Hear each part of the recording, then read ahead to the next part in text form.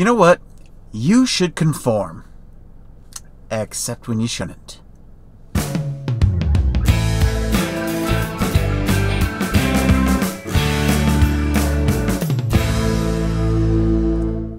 Hi, welcome back to the Colorblind Architect Podcast. I'm your host, David, and welcome back. Yes, today is a good, good day. Um, I got to go to the doctor, and as you know, um, I broke my foot a couple months ago hiking. If you wanted to look up that video, it's hiking Mount Ogden. It was a really fun hike, but towards the end, uh, my ankle slipped. I broke my foot and had to walk the last mile of the hike out down a thousand foot vertical drop on a broken foot. And it was a bit painful. And yeah, I do not want to have to repeat that again. But the good news is my foot's healed enough that my doctor gave me a clean bill of health. He said, You're good to go. You can walk, you can run. Just take it easy. Just don't go too fast into it.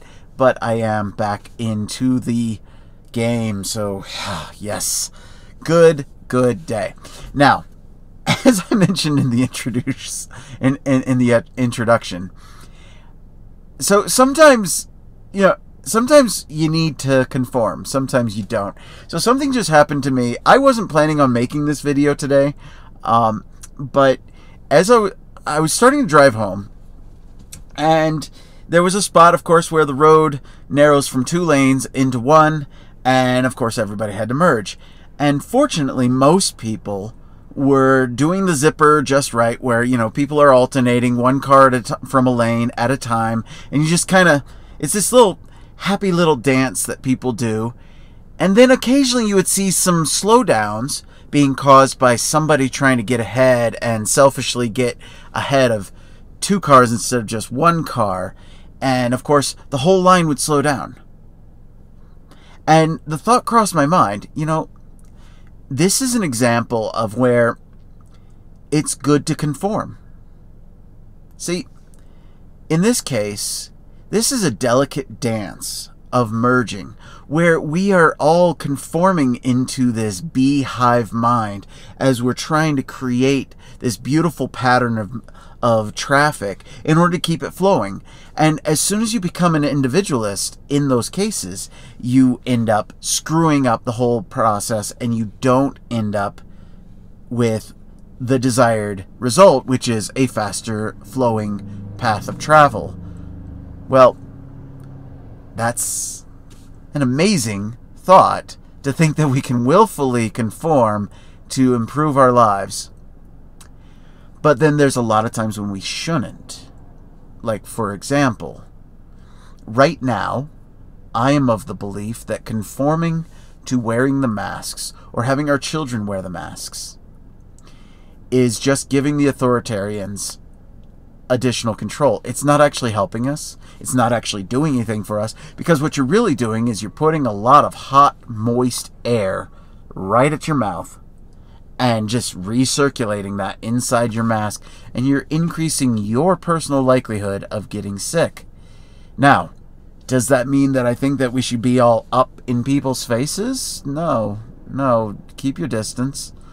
Of course, I like keeping my distance anyways because I don't like people. Also, you know, people find me repulsive, so, yeah, eh, eh, you know, it works. Anyways, but yeah, keeping distance, I'm fine with that. Just don't make me wear a mask. And don't tell me what to do with my body, you know? It's, I'm going to make my own choice. I'm not anti-vax, I'm not pro-vax. I I'm just make your decision for yourself. Is it desirable for a, a large population to go ahead and get vaccine? Most people get vaccine for most things. Yeah, measles, mumps, rubella, you name it. All those wonderful things. Polio vaccine, smallpox vaccine. Those are wonderful vaccines. I'm just not so sure about this current vaccine. I mean, it's not to say that I'm opposed to it. In fact, you know, I'm not going to say whether I've gotten it or not. I'm just not so sure because I'm not so sure that there's enough science to back the idea that we should be forcing people to get a vaccine that is still in the experimental phase. It only has emergency approval from the FDA, not official approval. Now, it could be that this is a wonderful vaccine and that it's going to cure everything. So far, the data does not look to be like it is as effective as they originally were thinking. Also, true to its form, coronaviruses, right? I mean, there's a reason why the common cold keeps coming back, right? It's because the coronavirus keeps mutating. And that's what COVID is. It's a coronavirus. And they are notorious for mutating. Now, I'm no expert. I'm no epidemiologist. Ask your doctor. Just don't force people to go get the vaccine. Don't force people to not be able to enter into arenas or into restaurants and making them prove that they have been vaccinated.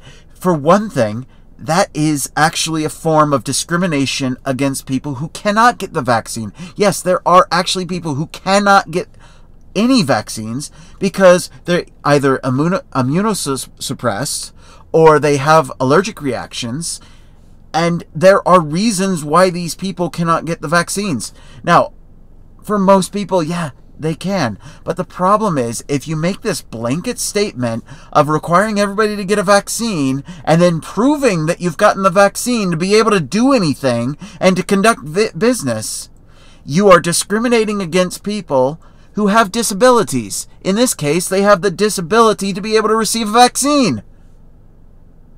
So, Again, I'm not pro vax or anti vax. I'm study the science out for yourself, discuss it with your doctor, and get the vaccine if you feel like it is necessary for you personally. But don't make everybody else do what you do. If you're if you're against the COVID vaccines, don't tell everybody else that they shouldn't get it. And if you're for the vaccines, don't tell everybody else that they should get the vaccine. Instead, just, like I said, do your own research. Figure it out for yourself. Talk with your doctor. Make sure that you are a good candidate for the vaccine or not. This is a personal decision. And we shouldn't be forcing people to reveal a card. Papers, please. That sounds a little bit like something I thought Antifa was against. With that, I bid you adieu for another day. I'm the colorblind architect. Peace out.